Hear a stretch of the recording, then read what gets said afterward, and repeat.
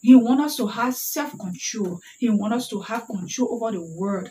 So someone who is saved is a person that can look at sin, sin face and say, I will not do it because this doesn't please my father. Christianity is a personal journey. If you somebody that used to insult, if you someone who have quick temper, you just become totally different. But your personality will not change. So your journey with Christ is different. It is custom and curved just for you. The way Christ will handle you, the way Christ will deal with you it's going to be different. Be yourself. Be yourself in the presence of God. Everything you do as a lady, it should be in the will of God. Hey, my lady, how are you doing? Hope you're doing great. So this thing is on my mind, and I want to give it a short.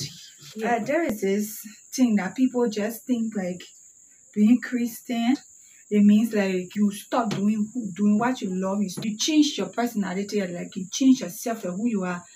That is absolutely not true the reason here is that when you be, when god converts you when you become a true believer following jesus he just amplifies his mode of who you are. If you are kind of outgoing person he will use that your outgoing gift for his kingdom. If you're someone who, who loves to look nice love to wear nice things he will just amplify that about you. So it also reflects in the same manner. If you're someone who don't like to, to dress, who just is so focused on his work and everything about work, work, you you will have that same uh, attitude, that same It's like people think like when Christ converts you, he takes away your personality from It is 100% true that God makes you of total different person in a light that is like if you somebody that used to insult, if you someone who have quick temper, you just become totally different. But your personality will not change. If you're someone who love to be around people, who love to go out, who love friends, like you will be that kind of person who love to talk about God everywhere. Following Jesus is a personal work walk. The way God will deal with me, the way I will relate to God, the way I will I will worship God. Other will not worship God like that because it is personal. God business is something that's so personal. A person can be converted and they are true believer and they are pure Christian. And this person is still able to wear a racket If God converts a lady that will used to be a scraper in the street in the street, you will not expect God to automatically automatically make her walk with him to become so in a way that no God will be moderate with her because why he knows where she comes from.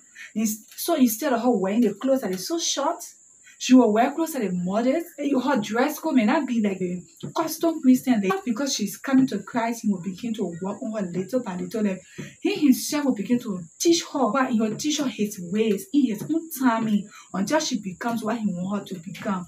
So it is very bad as a Christian, like Christian young ladies, to become to judge other ladies so let's stop this whole judging people. I think, from my own opinion, that makes the difference God doesn't want is He wants us to have self-control. He wants us to have control over the world. So someone who is saved is a person that can look at sin in sin face and say, I will not do it because this doesn't please my father. That is a believer. That is a someone who knows who he is and just being conscious about how you live. I think uh, in some, that's what I was. So I just thought to share this because the Holy Spirit was telling me like the way that I work with you is different. The way that I work with you is different. So I knew that this is something that maybe someone else will be struggling with because he kept on telling me the way that I work with you is different from how I work with other people. And it's me, it's personal. He is my God my God. I love God, oh God, I love you. I, you are sweet, oh Jesus. You are sweet. Yeah, Jesus is sweet like honey, though. Sweet like honey, okay? Jesus sweet like honey. Hey, Jesus sweet past me. Jesus give me sweet. Hey, thank you for your love. Hi, Jesus love a nice soul, a sweet soul. ladies in my next episode. Okay, be subscribed to this channel if you are not subscribed. And love you for love of God. Send you kisses and hugs. Bye.